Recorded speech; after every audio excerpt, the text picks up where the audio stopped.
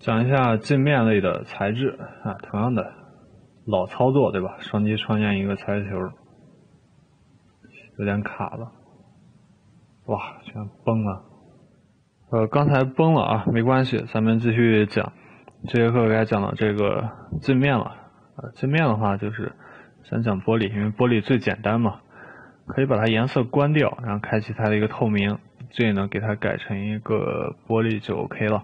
啊，因为它玻璃折射率就这个嘛。如果你要不开它的话，它跟空气很接近了，它没有任何这种折射率。比如说给它来个一，对吧？这样的话只有一个高光，这折射率没有的。赋予给它，然后去渲染看一下。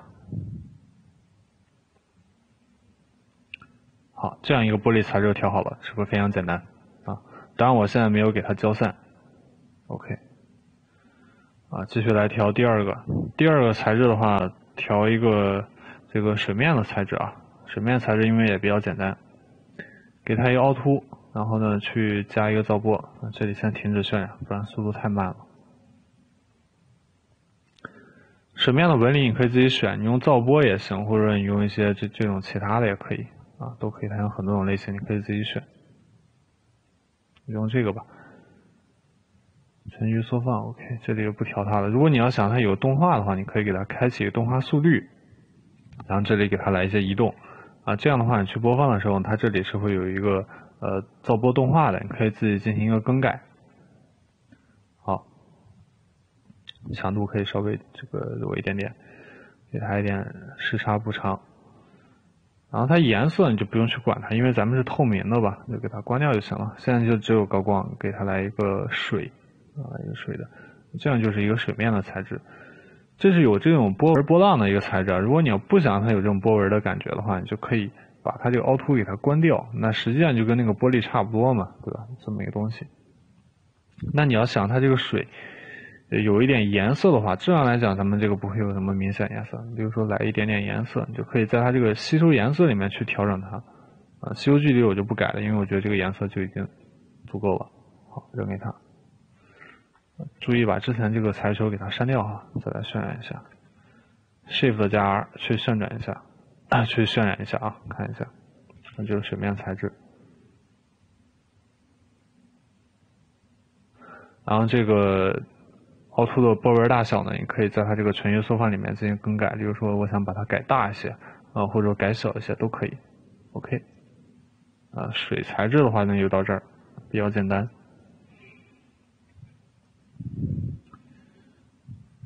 嗯，再来调一个磨砂玻璃，先赋予给它。磨砂玻璃的话呢，会稍微麻烦一点，呃，也不麻烦一点，就是速度会慢一些。那首先呢，这个同样的开启它的一个透明，给它来一个玻璃玻璃，OK。然后呢，你要想它磨砂玻璃有些颜色，你可以给它来点颜色。吸收距离呢？这个咱们讲过，它这个吸收距离越短呢，它这个颜色会越浓一些，看到了吧？这里给个六十就 OK 了。然后磨砂部位呢，自然呢它需要有模糊呀，给它一个百分之二十的模糊就行。如果你要想更多一些，也可以增加，但模糊值越大，渲染速度越慢啊。然后这里不需要去给它加反射，你就把它这个透明度给它加点粗糙就可以，让它透明度有些粗糙，这样的话它这个磨砂质感会更强一些。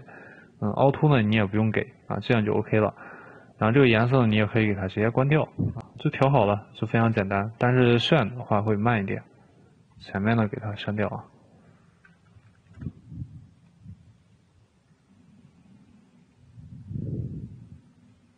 啊，看一下效果会稍微有点慢，这种磨砂玻璃的感觉，可以看这个。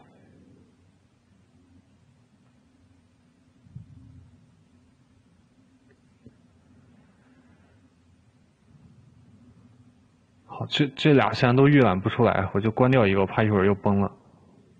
这个还是挺容易崩的。好，大概这种效果，但它还没有渲染出来。那还有一点就是，如果你要用这个物理渲染器，你做这种磨砂玻璃的时候，你这里你觉得噪点特别多，呃，你可以把它这个模糊细分给它开大一些，例如说给它开到五或者六啊、七八九，这你随便你。你开的越大的话，它这个处理的噪点细节就会越好一些，它就会更加柔和一点，就不像刚才这种大噪点，对吧？啊它这个，但它计算起来速度会更加慢很多。我这里用的是这个递增啊，啊，它这里就会慢慢的变得越来越好啊，可以看一下。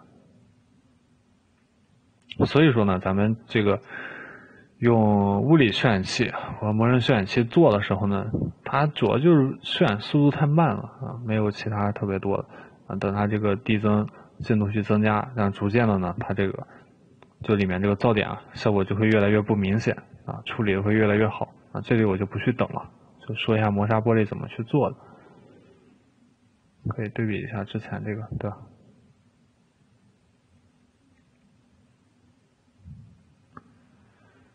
好这里还是先给它改小一些，大了它渲染慢。然后再来一个这个薄膜材质啊，薄膜的话呢，它呢我其实就随便分了一下类啊，就分到镜面里了。嗯，它其实属于这种反射之类的东西。好，那首先呢，同样不需要它的一个颜色，先赋予给它。反射呢，去给它添加 GGX。在它这个层颜色里面，给它效果添加一个薄膜。好，这里呢，这个薄膜材质它就已经出来了，啊，这样一个效果。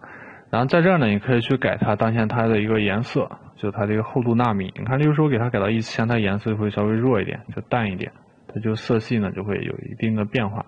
然后你要给它改的更高，它这里会一层一层一层的啊。可以在这儿去更改它，包括呢，你可以改它这个像菲涅尔一样，它的一个这个范围，就是它折射率嘛。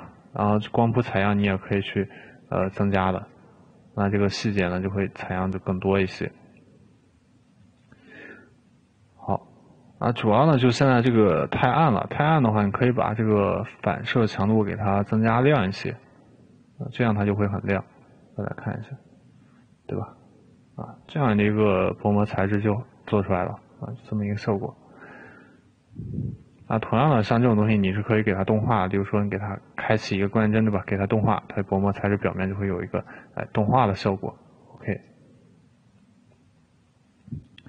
好，然后这节课呢，咱们就把镜面类的讲完了。下节课呢，咱们把呃发光和织物放在一起讲，因为发光的东西它也并不多。